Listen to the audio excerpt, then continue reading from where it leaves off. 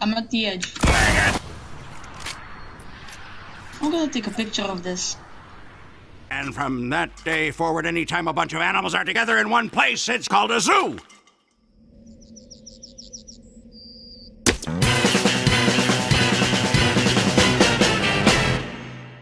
Unless it's a farm.